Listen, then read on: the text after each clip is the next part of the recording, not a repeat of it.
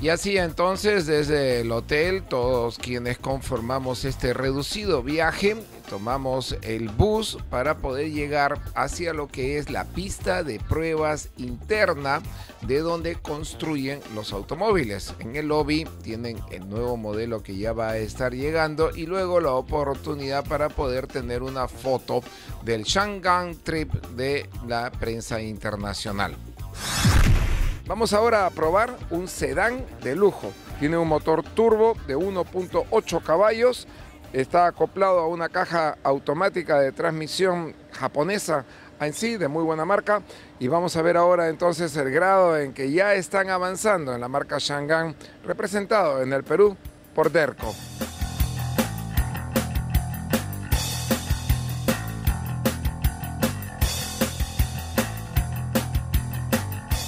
Aquí uno puede tener la aceleración, escuchar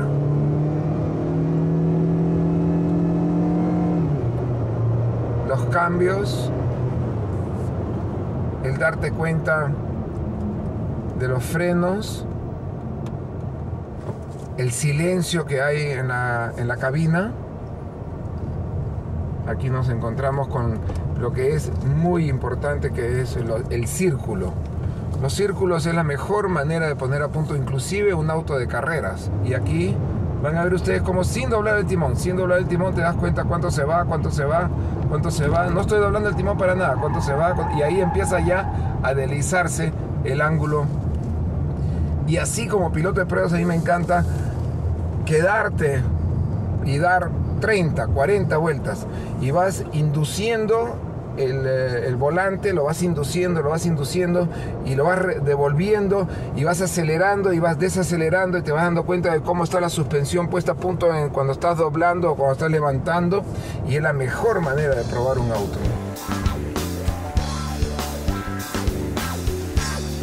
Y así entonces tuvimos la oportunidad de probar la EADO XT un nuevo modelo de que próximamente estará de la marca Chang'an en el Perú y tuvimos un importante análisis para nosotros encontrar cuál es la misión de Chang'an en el futuro.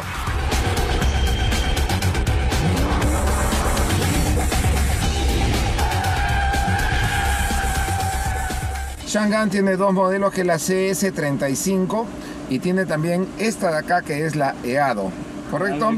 Y esta es la versión XT, motor de 1.6 litros, 4 cilindros en línea con el sistema de válvulas variables que optimizan lo que es no gastar tanto en gasolina y también tener la potencia indicada. Este tiene 125 caballos de fuerza más que suficiente. Te das cuenta que es un panel de instrumentos de una sola pieza, rígido, eso es durabilidad. Y luego la primera prueba que hacemos es cuánto hay que darle para dar la vuelta.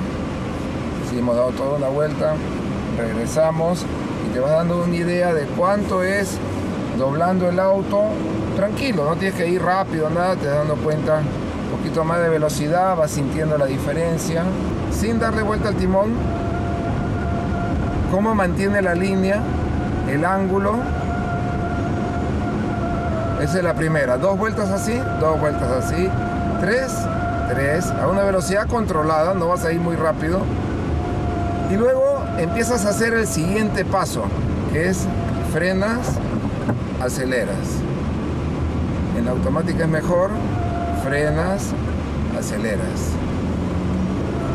Y ahí empiezas ya a meterle más y más y más velocidad. Y tiene un control de tracción que no te permite el poder probar tanto. Estás yendo en, línea recta y le das la vuelta. Ahí le das la vuelta. Y miren ustedes el ángulo, el ángulo de cómo la carrocería se va inclinando hacia abajo, hacia el otro lado, ¿no es cierto?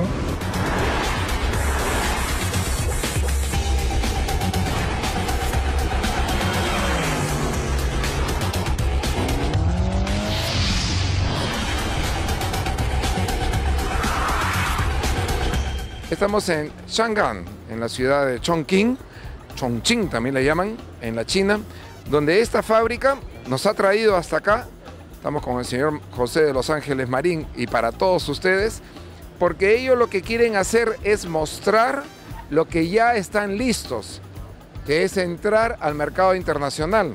Porque una vez más, Shangang produce en la China con Ford, la planta más grande de Ford del mundo está acá en la China y es con Shangang. Tienen también Suzuki, tienen también Mazda y con esto ellos tienen todas estas tecnologías en diferentes eh, asociaciones de construcción que permiten justamente eso, el tener estos modelos que hoy día ya están en el Perú.